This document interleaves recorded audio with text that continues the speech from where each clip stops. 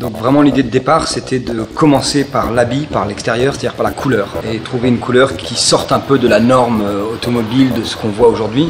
On a voulu trouver premièrement une teinte qui ne soit pas métallisée, que la grande majorité des teintes euh, automobiles aujourd'hui sont des teintes euh, avec des reflets métalliques dedans.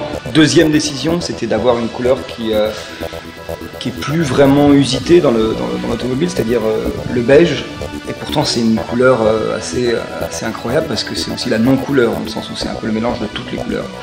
On a d'abord euh, reçu des échantillons qui étaient un peu trop euh, saumon, un peu trop cher. On s'est aperçu que c'était que le beige c'était quelque chose de très difficile à trouver. En fait, il y avait variété de teintes infinies, hein, du, beige verdâtre au beige trop gris, au beige trop jaune, etc.